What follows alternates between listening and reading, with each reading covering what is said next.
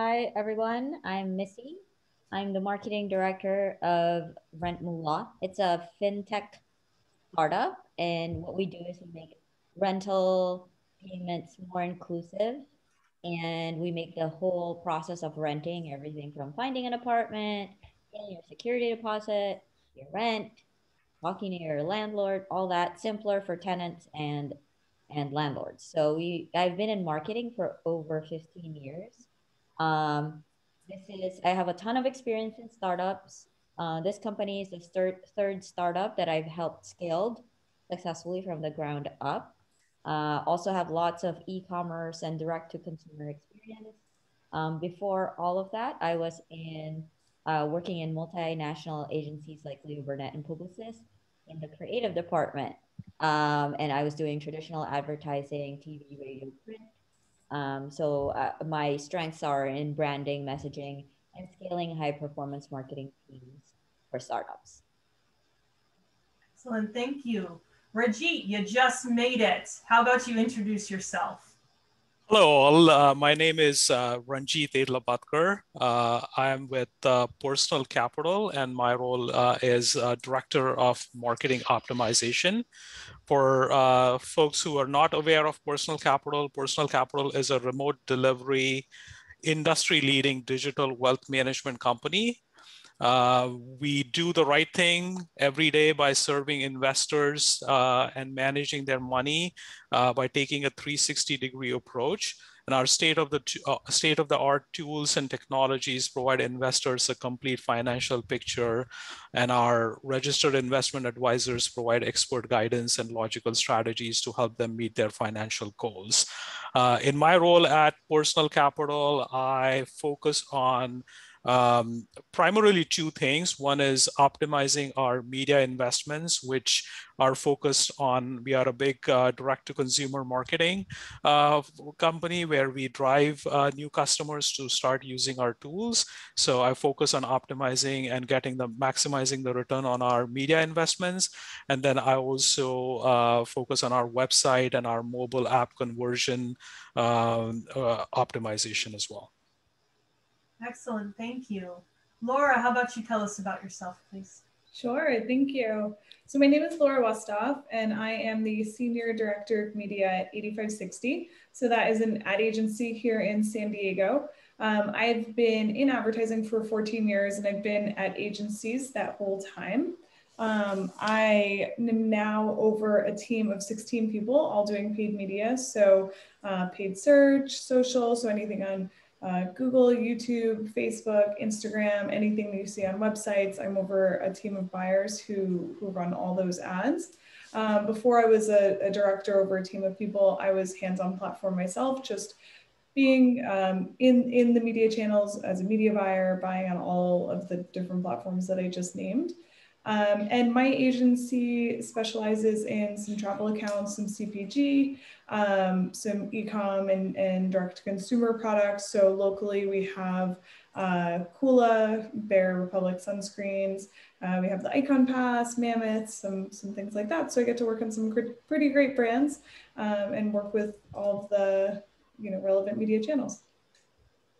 Excellent, thank you. And then Magnus, batting cleanup. Tell us a little bit about yourself. All right, last but not least. So uh, you can probably tell by my background, I work at a company called BD that you may or may not have heard about. Uh, BD is one of the largest medtech companies in the world and um, has a significant presence here in San Diego as well. Uh, if you've gotten your COVID shot, there's a really good chance that it was in a BD syringe. We're market leaders in syringes, um, as well as you, if you get your blood drawn, it goes into those little plastic containers. Uh, that's probably also a BD container. Uh, but we also make large capital equipment. So I work with products that uh, manage medications in hospitals, and those are larger uh, capital equipment type, type products. I'm responsible for upstream product marketing and really product line management, um, business management for a $900 million business called Pyxis at BD.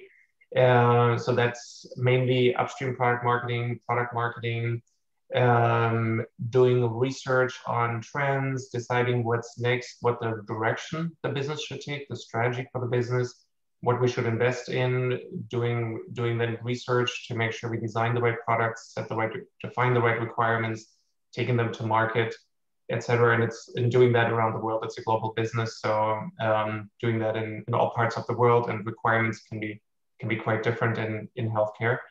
Prior to BD, I was in the tech industry for over 15 years, and uh, have done marketing all my life. I've done everything in marketing, started in product marketing, but I've done advertising in between, PR, uh, channel management, um, you name it.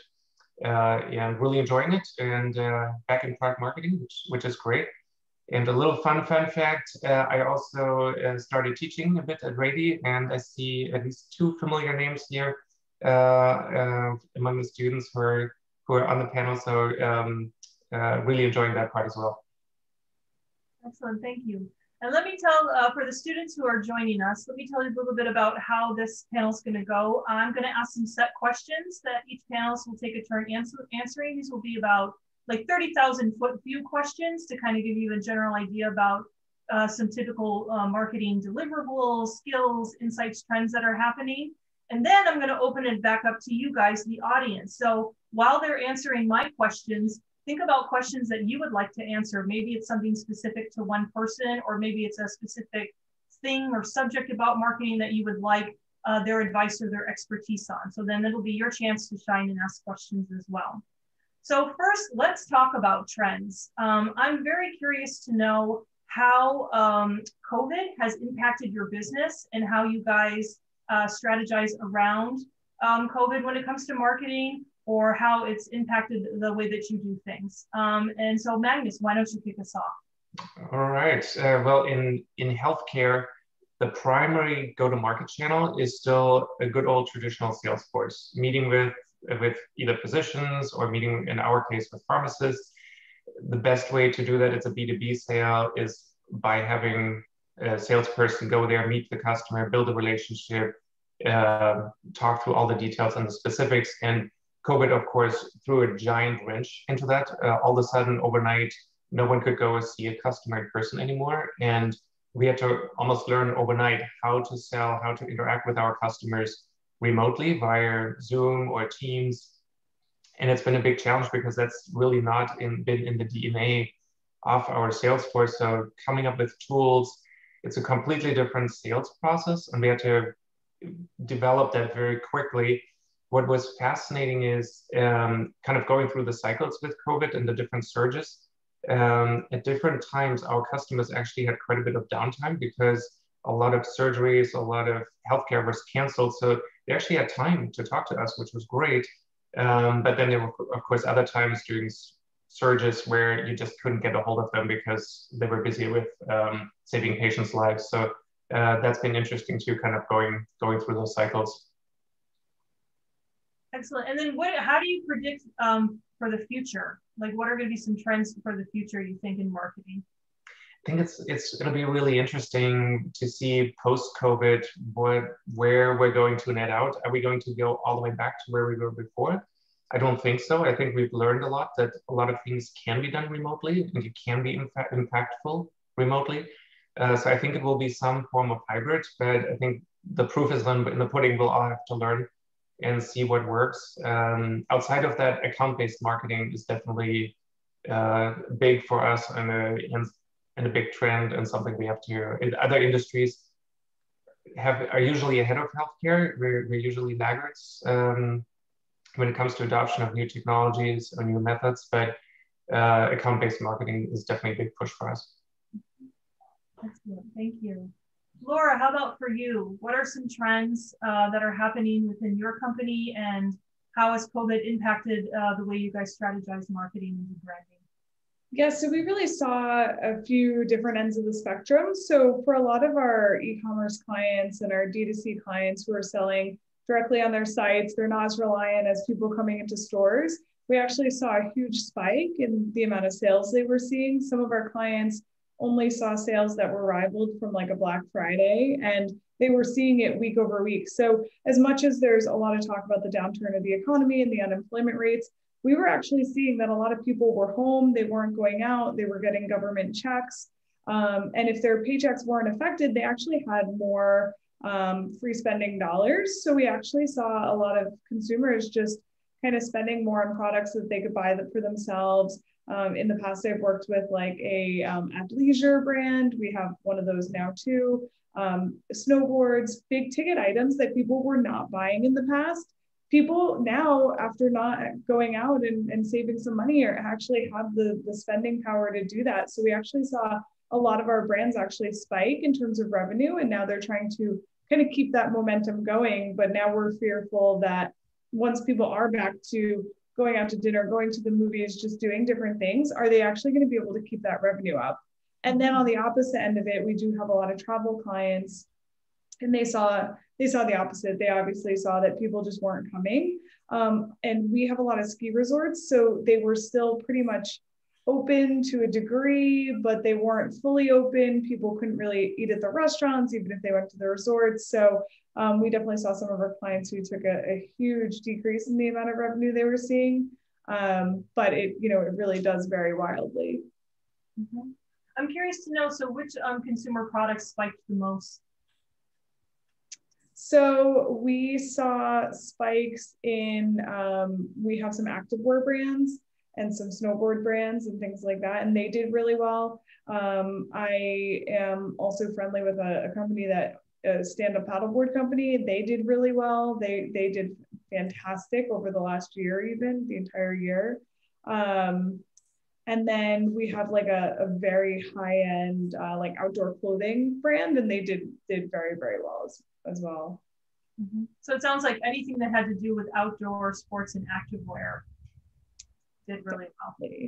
Definitely, definitely a trend there. But I think um, I think people were also, you know, we saw like at home wine services and food delivery and then brands like that also not expect to have so much, you know, they some brands were just, you know, actually trying to figure out how to accommodate to all the volume that they were seeing. Mm-hmm. Interesting. Missy, how about for you? What were some trends and changes in the COVID area? Yeah, so uh, we've seen a lot of very interesting shifts that I personally did not expect. So I'm in the, the fintech industry. Um, so fintech is one of those industry that really saw a lot of growth during the pandemic, and uh, it's really because you know um, even pre-pandemic, 78% of Americans are living paycheck to paycheck, and then the pandemic happened, and you know um, people lost their jobs and things like that. Um, you know, pre-pandemic, people would struggle with like a surprise bill, unexpected bill of four hundred dollars, understandably, if they're living paycheck to paycheck. Um, and what the pandemic did is it just put all these issues in the forefront. Um, it just became a lot more apparent. So um, a lot of fintech companies, um, you know, got a lot of attention during during the covid season. A lot of people needed first to pay digitally contact free. There needed to be more flexible payment options um, and things like that. So we saw a lot of shifts there. But what's more interesting when i looked earlier this year is um, the payment the, the shifts in how payment how people managed payments and how, how they spent um, was really interesting to me. Like, for example, I know that um, as uh, Laura was saying, that there's a big boom in e-commerce because people are at home and they're shopping online because they couldn't go to retail stores. Um, so e-commerce actually in the U.S. grew like 44% in 2020. Um, and but what's interesting is the payment methods shifted. So instead of credit cards, um, now you'll see uh, uh, in the news a lot of these companies like Klarna, Affirm, um, PayPal with their after afterpay, things like that have have grown tremendously. Um, 30% of the e-commerce payments were made with those buy now, pay later um, options, where you split up the payments and enforce separate payments every two weeks or things like that, and it's interest free, so it's better than a credit card. Um, what's interesting to me is that across all uh, demographics, people uh, cash on delivery rose. Like people are paying with cash. 33% paid with cash on delivery or with mobile pay- mobile payments like pay by text or QR code. Um, so when people buy, the difference is when people buy online, they they tend to go with the traditional debit credit. Buy now, pay later is rising. When they're in store, they prefer to pay in cash. Mm-hmm. Um, 60% of people who bought in person used cash. That's comparing it to 3% of people who who did like a, the tap to pay cards or digital payments, which is to me very surprising because I like to tap my card and use my debit card. Mm-hmm. Um, so that's pretty pretty interesting. We also saw some shifts in terms of you know people just don't trust credit anymore. They don't want to incur that interest.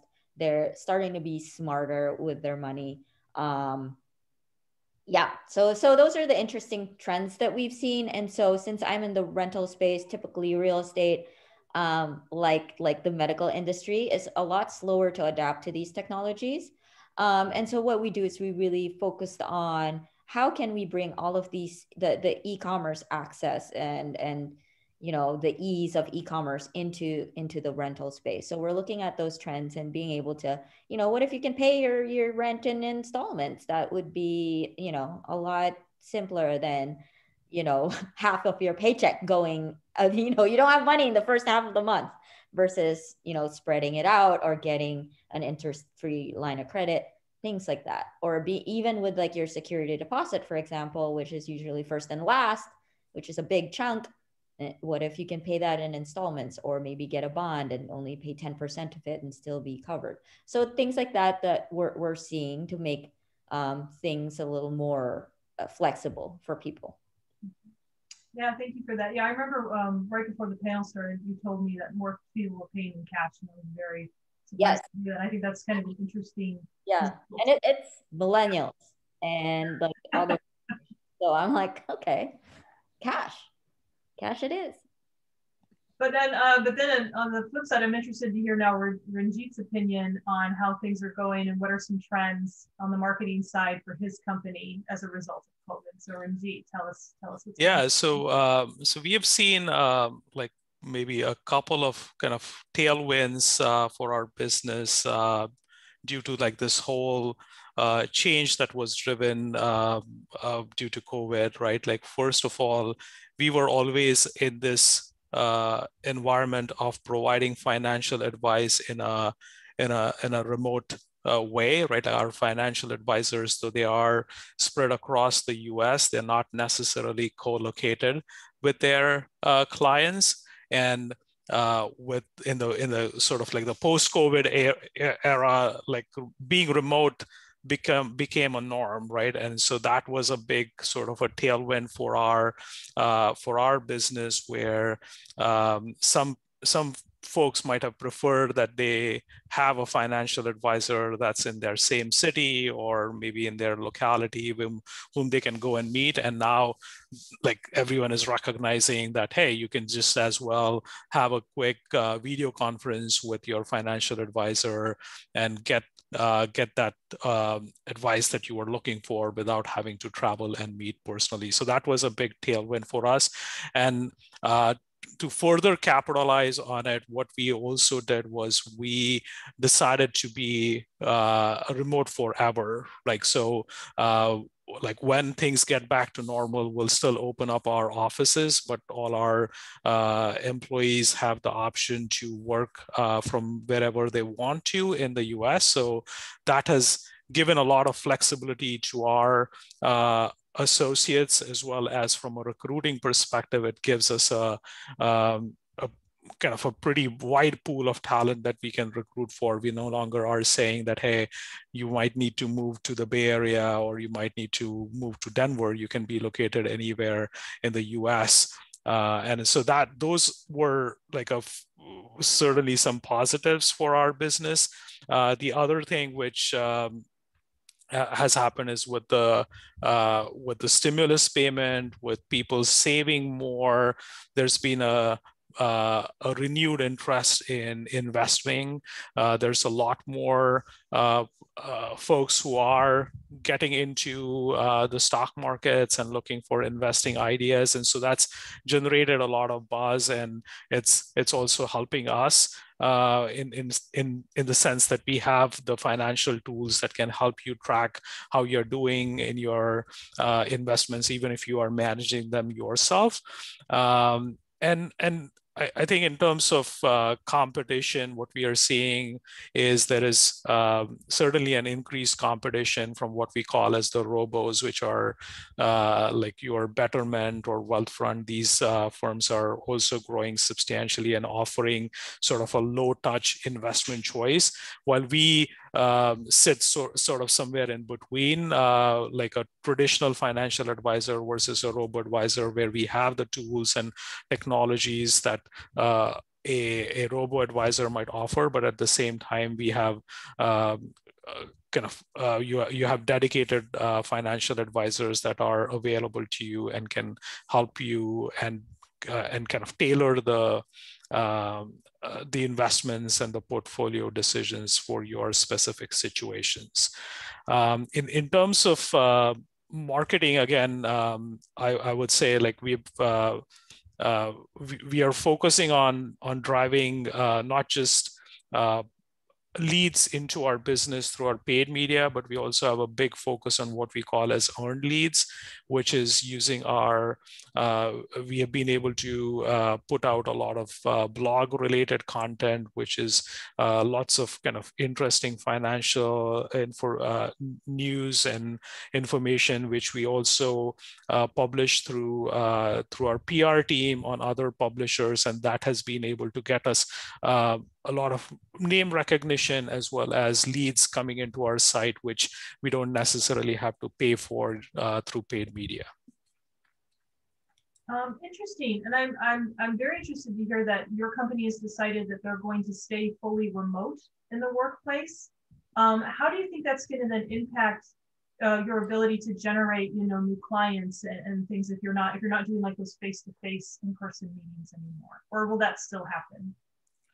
Yeah, no, uh, I, I think uh, we haven't missed a beat. We uh, literally, in a week's time, decided that everyone is going to be remote, and we haven't kind of shown back at our offices since like uh, March 2020. Mm-hmm. And um, in, in fact, what we are realizing is that our advisors are now able to take much more appointments, serve a lot more clients, and and and be available when they need to.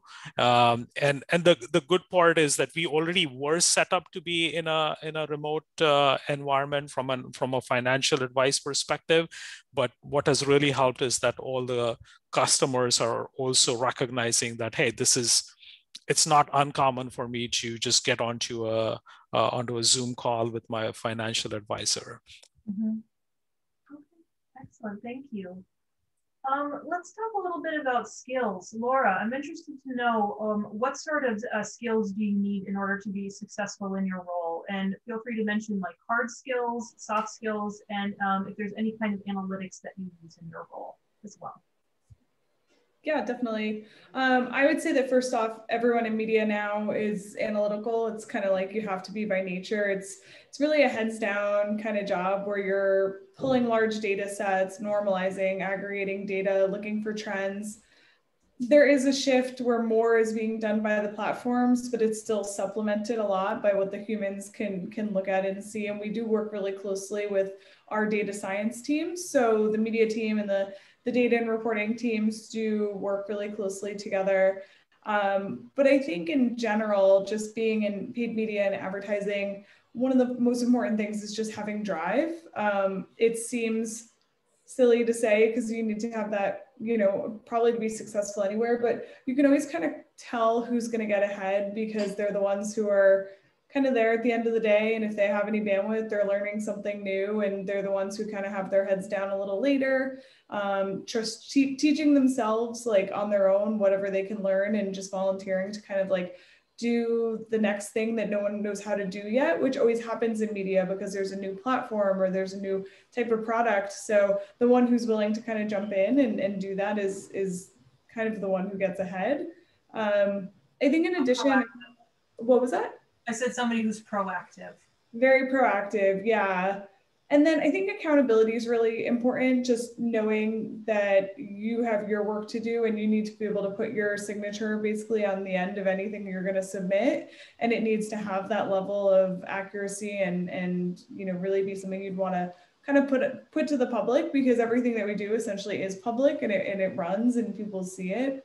Um, And then I think just intelligence is really important, but so are those soft skills um, because we're heads down in the platforms a lot. And it's, it's almost like a level of like being in analytics and being like a coder and you have to be really fine kind of working on your own and, and just working with those data sets. But then if you additionally have those people skills, I think it really helps to kind of separate the people who are going to be able to elevate and be in a room of 20 clients explaining what they're doing versus just being in the back end, um, kind of being able to do it themselves.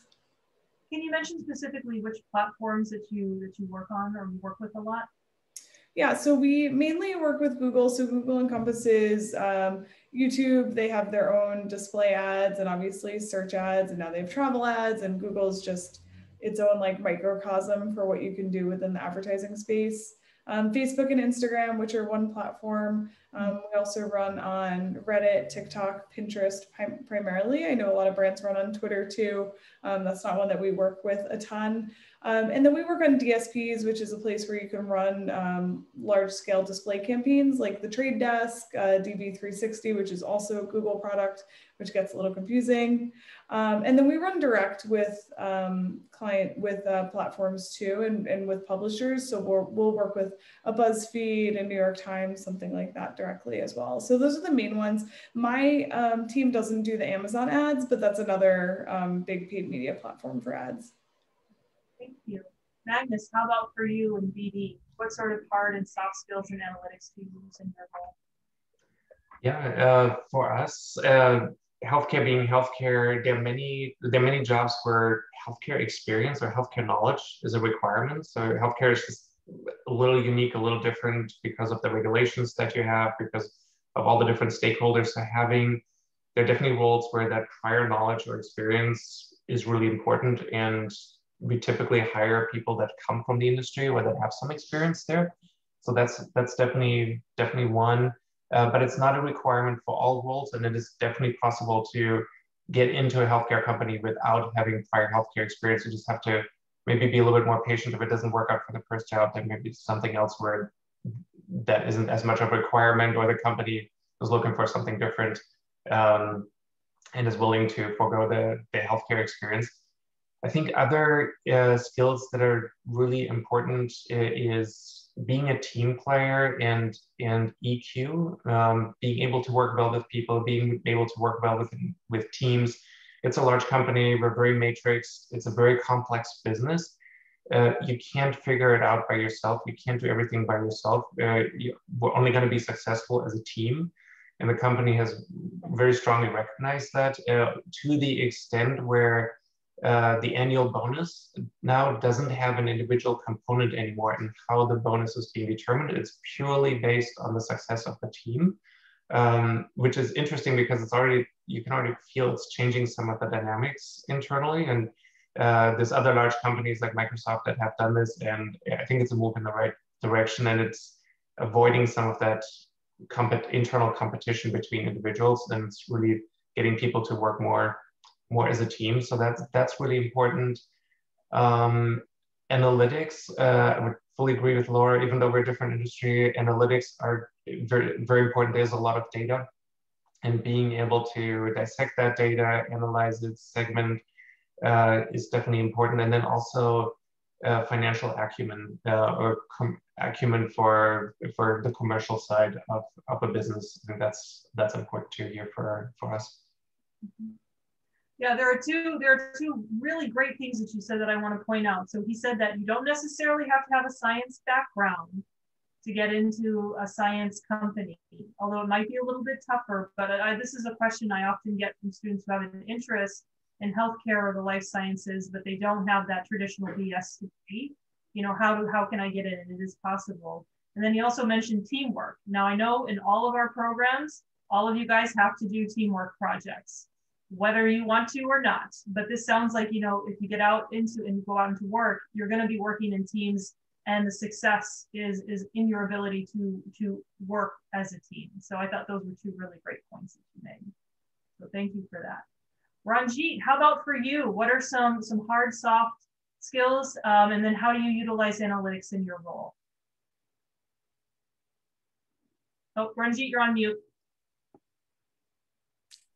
Yeah, completely uh, agree with what Laura and Magnus were saying that marketing is now is becoming more and more data driven very less um, kind of uh, just subjective decision making uh, so that's that's certainly a focus for us but at the same time uh, a couple of things i would add uh, in addition to what was said is is customer centricity right? Like when we are getting customers to trust their hard earned money with us we have to deliver a amazing customer experience and we have to address all their concerns and questions and all of that. So that is one of the main uh, things that we focus on uh, on on like the whole customer journey.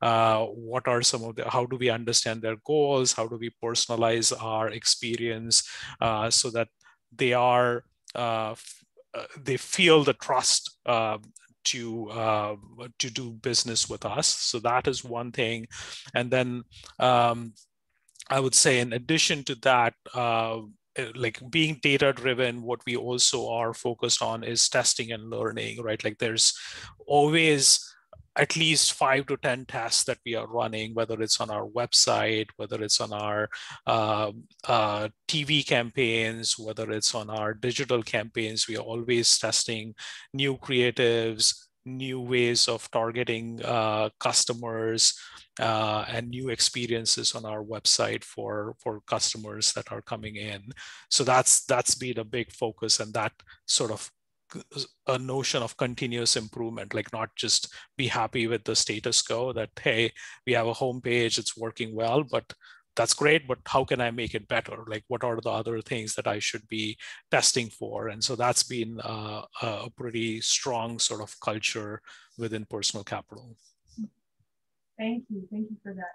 Missy for you skills that are needed and how do you utilize analytics Yes. Um, so for start, I, I I'll talk through the startup experience for this one because it's like you know when you're at a startup and and you don't have data you're, you're entering the the the industry cold i mean you know and so what you do what i've always done is you know as a marketer although i i have tons years and years of experience behind me i never approach it as i can tell you what's going to work because the truth is no matter what you know you don't know what channels will work you don't know what messaging will work you are you may have an idea of who's going to convert who's going to find your your product useful but you're not entirely sure. So you kind of work backwards and and you know make educated guesses as to what what might work what channels um, might work for you. Like for example you know maybe it's not necessarily facebook and instagram maybe it's more um, publications especially if it's like a um, an edu like you know if it's an entirely new product that you need to educate people on so it has to be more long form content. And so what you do is you build you know make your best guess there um, build build it so you can track the the customer the funnel and and see like how people are behaving. Um, you know we we've done in the past we've built built it very slowly where every month we had like a set budget for just experiments. So every every month we would choose a different platform or a different avenue to do experiments in. Not all of them will work. Um, but the, the ones that do, you keep them on and like, you know, you, you kind of grow it from there. Um, there's, you know, so that's, that's what I've seen. It's that real obsession with, with let me try to experiment um, what will work that, that curiosity. So I think that the, the a key soft skill will be that um, you always in marketing in general, not just like in analytics or anything, in any role, uh, you have to keep learning. The, the moment you stop being curious, you will become an outdated um, dinosaur because you know there's always new platforms coming out. Like now, Clubhouse is a thing, and so you kind of have to be curious and go into there and see how people are are, are monetizing that and using that. Um, and then what we've done in the past too is as you start building data, really, um, it's I've worked with analysts in the past where oh this is what the data says, but really the the, the key people are behaving this way. But the key is what do you do with that information? What recommendations can you make? Like oh we should just stick with this because this is what's working. No, but you have to look at where is there other potential? What other things can we do? What does the data what's the story that the data um, presents and how can you use that to kind of be more relevant to your your customer base or, or grow that a little bit better? Um, so that's that's what i would say just like for any role uh, just keep experimenting. Yeah i love what you said about curiosity. I think that's true in any role that these students go after. You have to stay curious. Otherwise how will you grow and how will you better yourself so I would now like to open this up to our students. Um, so you can either type a question in the chat box if you'd like, or if you want to be brave and ask a question on Zoom, uh, feel free to unmute yourself. And uh, please, let's hear from the students. What questions do you guys have? Susan raised her hand. You can go first. Hi, I'm Susan. I'm from the full-time MBA program. I think Missy just had a great point about startup, and uh, my question is actually around startup.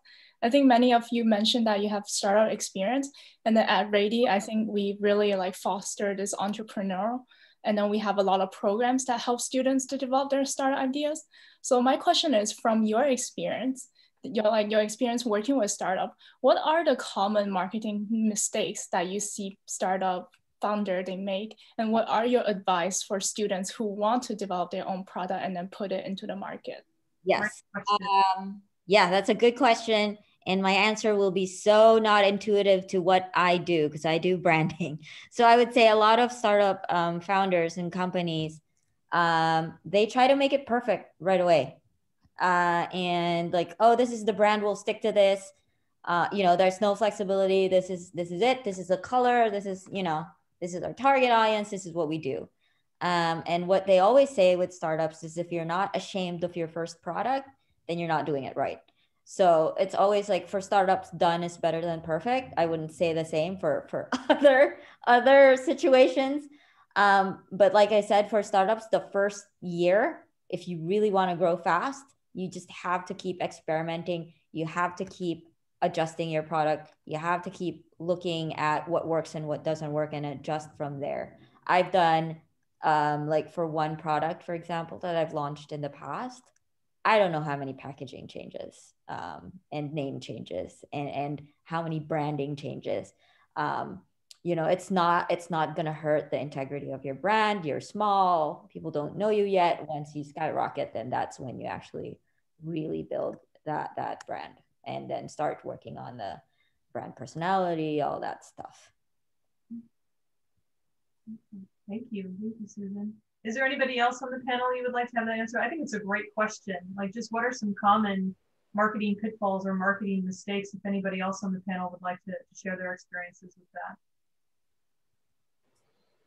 that. Um, I can jump in really quick. I think one of the things that I see with brands who are just like start, starting in market happen a lot is they always come to us and they say, We want to make a million dollars this year. It's like every new brand wants to make $1 million in the first year. And then they'll go to a marketing agency and say, We have $20,000 to spend. How are we going to make a million dollars this year? So I would say um, do your research, connect with other entrepreneurs, connect with other brands, get a real timeline for what your first year might look like, what your first six months, six months might look like, and really position yourselves for your own success because I think a lot of brands just come out of nowhere and they're like, we're going to get funding, we're going to make all this money. And it's not realistic. And if that's your goal, you're not going to step into it the right way.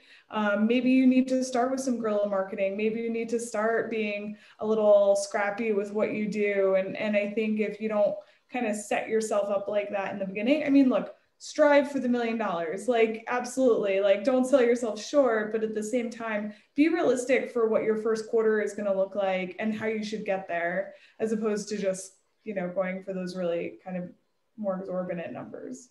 Mm-hmm. Now that you said that, I wanted to add to it um, because yes, they they it's almost like make it happen. You don't yeah. have to budget, and I've done that many times somehow, and that's where you just really have to be very creative.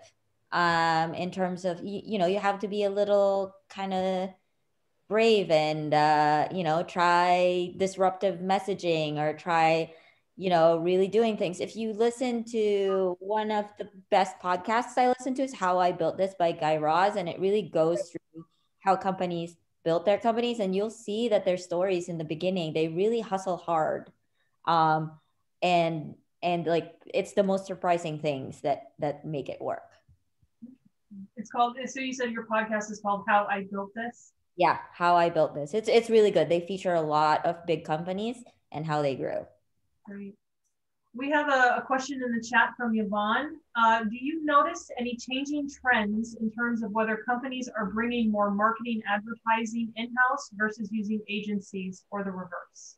Great question.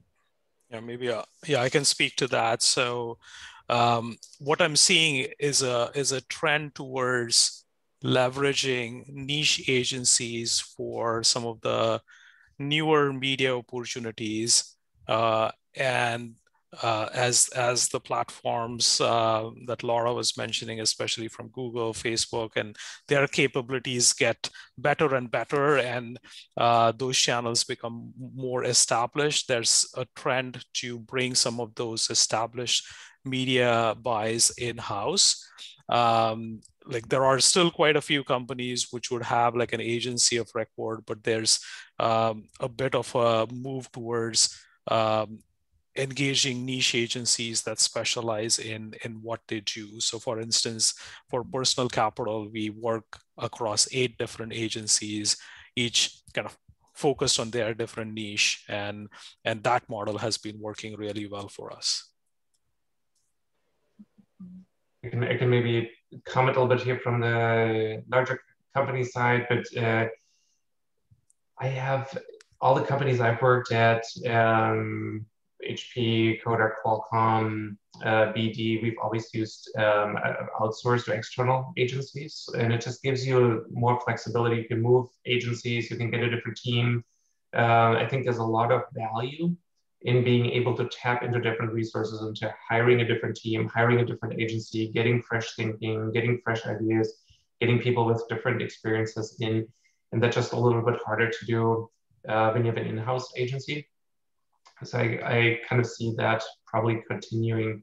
Um, but it also depends on the business and the goals. There's probably cases to be made in some cases to to bring marketing in house, but from what I've seen, it's mostly external. Let's see, we've got a question, wow, text from Heidi. So regarding finding good fit for your teams, what would you recommend for people who have a background in sales or other teams that work closely with marketing to help them actually break into marketing roles? Would you recommend just applying or trying to get in by means of moving around teams once internal? And yeah, too, I think just a broader question too is just, you know, if, if people want to break into marketing or if they don't necessarily have that marketing background, how do they how do they get in? I think that's a great question. Yeah. Um, I can speak to that a little bit because I worked with sales teams in the past and like have hired marketing is one of those roles um, you know every time I, I put any marketing literally any marketing job post out there um, a bunch of like people with different backgrounds um, apply a lot of people do want to like even if it's like completely not relevant you know um, they do so I, I would say it it depends on um, how do I say this? So, so in marketing, there's no such thing as a full stack marketer. You, even if there are companies who post jobs like I want you to do PR, branding, paid media, you know, people do that, but you need to really figure out um, what you want to specialize in. Like, what are the skill? Where do you want to go? For example, which which part of marketing, and figure out the skills that that would be a good fit there, and what's the starting point. So, if for example, if it's sales and like you're really good at that could be like you could be a very good direct response marketer because you know it's almost like a direct sales but for marketing or you know things like that that you look so you you just have to see that when you're looking for a job just make sure that you fit the requirements the skill sets that they need um, because the first step is to be able to deliver what they need and then um, after that what really will differentiate you after you get your foot in the door with an interview is how you, how well you fit into the company um, culture, your working style, you know, so do your research. Um, but I would say, uh, just from my experience, I don't know about the, the rest of the panel, that if you are, are starting out um, wanting to get into marketing, I would say agencies are a good place to go because you get and there's different kinds of agencies right? Um, because you get tons and tons of experience you get to work with different brands in a short period of time uh, I would say that uh, as I look at sort of the different marketing uh, departments that I've been in, there are like four to five kind of key or distinct roles that that you will see across all marketing teams, and I'll, I'll uh, kind of list those. And so I would say that depending on kind of what you have been doing, if you can align yourself to one or more of these and show that you can you have skills and expertise that can translate over and you can do that work, then that should uh, certainly open the, those doors for you. So at a high level, I would say like kind of things that's most common are like you have your traditional uh, and then my experience has been mostly in direct to consumer marketing so i'll talk to that. Like you have your traditional marketing managers that are owning the media uh, placements uh, or media buying decisions in one or more channels right? Like that's like at the core of a lot of marketing teams. You have uh, marketing research which is focused on getting customer insights uh, looking at your uh, brand metrics uh, bringing in feedback from customers on your creative before launching them. So there's a big field around customer research. Uh, we all talked about analytics. So you could be very data driven and technical, and you could then abstract or move those skills into uh, mining data that can drive insights that inform your media investment decisions. Um, the other area that I've seen is around um, content and PR, right? Like uh, those are uh, like where you can build new content, you can um, work with publishers and get uh, pr uh, press for your company. So that's another uh, team. And then um, creative, right? Like if you have graphic skills, you can build new creatives. And um, I'm sure like I might have missed something, but those were the like if you think about the core marketing teams, then um, those come to mind. I would also recommend to kind of put yourself in the, into the shoes of the hiring manager uh, who is looking for an advertising manager, a product manager, whatever the role may be. Uh, and you have multiple people applying. If you're someone who doesn't have marketing experience, but there are other candidates that have multiple years of marketing experience, it's really hard for the hiring manager to say, well, I'm going to go with the person that has no marketing experience versus the candidate that has multiple years of marketing experience. So you have to somehow overcome that. And I think, uh, like like Missy and, and Ranjeet said, I think a good, really good is you have to somehow get to know that person and demonstrate other skills to them that you're you're really good interpersonally, you're really organized, you maybe you know the product really well, but just maybe from a technical side or from a support side or whatever it may be, or the sales side. Um, and then they they can imagine okay maybe this person can do can do marketing. I'll have to train them but they bring other things. You have to show them that you bring something else to the table um, that is valuable. Um, where the person the hiring manager is then willing to say okay i'm going to train you in marketing and you, you're going to have a learning curve but you bring something else in that i want on my team. Um, and I, th- I, think generally doing it uh, making that switch into a different function internally is definitely easier because you're exposed to people. You can you can also do just do a project. You can knock on marketing's door and say, hey, can I do a project for you? You know, give me give me something, and I'll I just want to spend 10% of my time doing a marketing project. I want to see what that's like. And all of a sudden, now you have a foot in the door of the marketing team. And Missy, you made me think of a funny story. Somebody said, and it's so true. Everyone thinks they know marketing. They've taken one marketing course somewhere and they think they know marketing. I, I had uh, years ago, I was posting a job for an international product manager, and a guy applied who was a limo driver in San Diego. And he said, I'm very qualified for this job because I pick up people from all over the world all the time at the airport. And I know the world and I'm, I'm ready to do international marketing. So, yeah. Oh, uh, one well, thing. How you sell yourself, right? How you sell your experience. Absolutely. It, it totally, I mean, it was a great story. It one thing I would say that actually worked for us because it's like we have an HR person who screens everybody before they hand them over to the hiring manager. So if you you might come across that, what I would do is just message um, either the CEO or whoever it heads up marketing directly on LinkedIn and just show your excitement because that has happened to us where you know a person um, applied didn't get through the screening because of the lack of uh, you know years of experience or whatever messaged the ceo and the ceo oh passed it along. Like this guy you know so now he got interviewed because you know he just like messaged the ceo and our hr person will not say no to our ceo um, so you, you just have to like uh you know be be a little they'll appreciate that you really want to be part of the company. Sometimes that's what it takes. It's like i i really want to be part of your company Mm-hmm. And another skill set that's uh, I forgot to mention is, uh, and it's, it's, it's at the heart of, of big marketing teams is like marketing ops or project management. And those are skills that can be relatively kind of easily transferred over. Um, and then so that might be another uh, avenue to explore that if you are highly organized and can bring in that project management skills or program management skills, those are also sought after in, uh, in marketing departments. Also, I want to circle back and say if you're if you're thinking about messaging a CEO of a company, maybe reach out to your Rady career advisor first because I think there's there's a right way to message the CEO and make a good impression, and there's a wrong way to do it. So maybe just run your message by your career advisor first and let them take a look at it. Um, there is one question on here I want to ask because I think it's a really interesting one, and it comes from Ariella. Um, and in particular, Laura, I'd like you to start off since you work with uh, companies who do consumer goods. Ariella, would you want to be brave and ask it yourself? Sure, I can do that. Hi, everyone. This has been a great discussion. I've really enjoyed it.